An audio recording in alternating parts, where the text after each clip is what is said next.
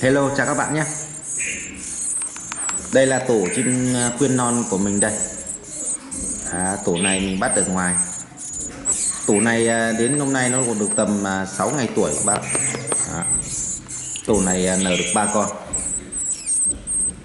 Để em lấy cả cái tổ nó về đây.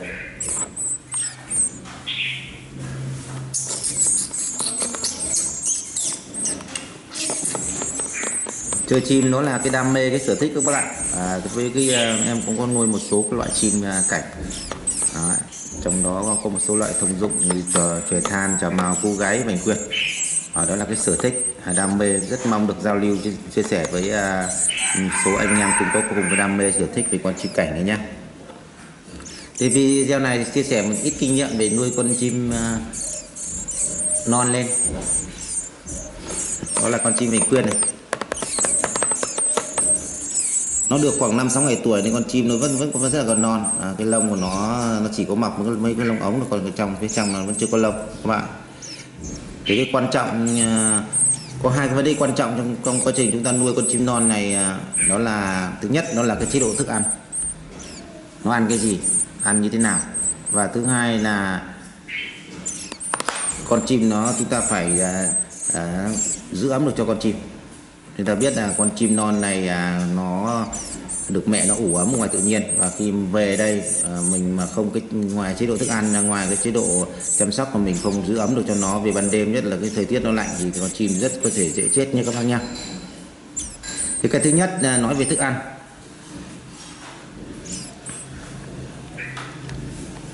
Thì à, quan sát những con chim à, con nó nuôi à, những con chim mẹ bố mẹ nuôi chim non ở ngoài thì chúng ta quan sát từng cái loại loài chim nó hay cho con ăn mớm cho con ăn cái gì thì dựa vào cái đó thì mình à, bổ sung thức ăn cho nó cho nó con chim nó có cái chất dinh dưỡng phát triển à, à, đầy đủ nha. thì với con chim mạch quyên này thì để đảm bảo cho nó có đủ chất dinh dưỡng trong cái quá trình à, non này mới được mấy ngày tuổi này con chim nó rất cần chất dinh dưỡng để nó phát triển về cơ thể phát triển về bộ lông. Đó nên chúng ta mà cho nó ăn chất nó không đủ thiếu dinh dưỡng thì con chim nó có thể nó vẫn sống nhưng con chim nó không khỏe mạnh và cái bộ lông của nó không đẹp. Nhá. Thì theo quan điểm của em thì uh, riêng với chim mình quyên này thì em mới bắt bắt về non về này thì em sẽ cho nó ăn một số loại thức ăn à, đầu tiên em xin giới thiệu đó là cám. Cám này mình cho ăn dần cho nó quen với cám. Cám này có thể là cám gà con hoặc cám sữa cho lợn sữa con đó, mà chúng ta pha loãng nó ra một xíu. Yeah. đây. Rồi. Thứ hai đó là hoa quả. Hoa quả ở đây thì em có thể dùng chuối hoặc là cà chua hoặc là một số loại hoa quả khác bổ sung cho nó nhá. Bổ sung cho con chim non cái thứ ba nữa đó là mồi tươi các bác nhé. Mồi tươi thì chúng ta có thể cho nó ăn à, sâu quy có thể dế và có thể châu chấu cào cào. Đó. Thì thông thường em hay cho nó ăn sâu quy thì à, sâu quy thì nó nhỏ chúng ta chim nó con này rất nhỏ ăn sâu quy như cái con sâu này hơi lớn. Nếu là sâu lớn được dế hoặc châu chấu thì chúng ta cần phải cắt nhỏ nó ra. Đó, cắt nhỏ nó ra cho nó ăn cho nó dễ ăn và nó dễ nuốt dễ tiêu hóa nha thì ban đầu mình cho ăn có thể lần lượt các thứ được. Mình cứ cho mỗi lần thế nào ăn cho nó một xíu cám cho một xíu chuối cho nó một uh, miếng ờ, ờ, uh, mùi tươi. Đó. Hoặc có thể chúng ta cho nó ăn cái chuối này chúng ta sẽ quết cám lên đây cũng được lẫn với chuối. Hoặc là à, cái mồi tươi này. À, cắt nhỏ ra chúng ta cho nó ăn chúng ta phải nhúm cái mồi tươi này với cám. À, để cho nó ăn cho nó quen. Và cái con mồi tươi nó dính cái nước cám này cho nó quen nhá thứ hai nó dễ nuốt.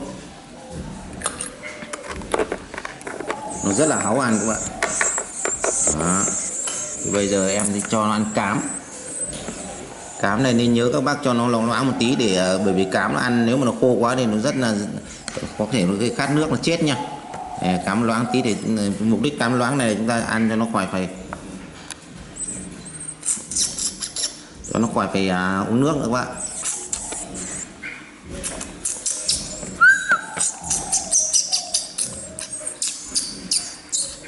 đó.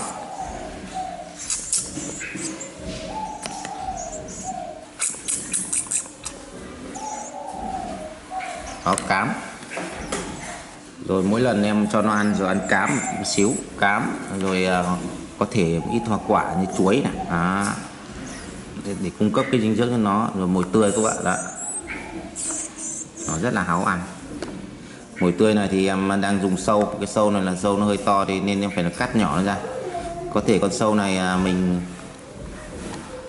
trước khi cho nó ăn, mình nhúng vào cám đi cho nó có tí ướt, tí nước cũng được. Và muốn cho nó có mùi cám. Con chim nó làm quen với cái cám này nhá. Thì sau này à, con chim nó lớn dần, nó đứng cầu thì bắt đầu chúng ta cho nó tập mổ, ăn mà cám ướt rồi đến cám khô. Đó.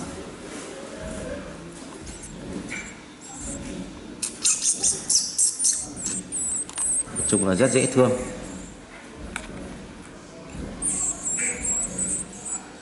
Nói chung là nói chung lại là khi chúng ta nuôi một con chim non à, bất kỳ hoặc là một loại chim vành quyên này chẳng hạn cái yếu tố quan trọng nhất là cái chế độ dinh dưỡng cái cách chăm sóc. À, dinh dưỡng cho nó ăn này thức ăn đầy đủ. Còn đồng ý chúng ta cho nó ăn cám không thì nó cũng vẫn cứ sống. À, nhưng con chim nó sẽ không khỏe mạnh không đẹp. Đấy, chúng ta quan tâm đến hai vấn đề đó là thức ăn, chế độ dinh dưỡng và cách chăm sóc cho nó. Chăm sóc ở đây đó là con chim non thì nó rất là yếu và bộ lông nó chưa phát triển thì nó rất dễ bị lạnh vào cái thời tiết lạnh vào ban đêm nữa à, với con chim non này à, ngoài chiếc đứng ăn thì cái chỗ này em sẽ ủ à, nó cho nó nằm trong cái tổ này và ủ ấm nó.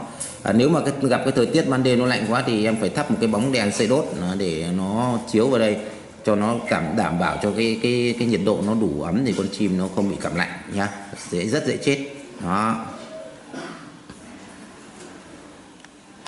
Thì à, vì cái sở thích và cái đam mê về chơi con chim cảnh nói chung và một số con chim nói riêng này thì à, mong là à, rất được mong được giao lưu học hỏi cùng anh em cùng có cái đam mê và sở thích về cái con chim này nhé à, video này em lại xin được dừng ở đây lại hẹn gặp lại các bạn ở video sau nhé chào các bác nha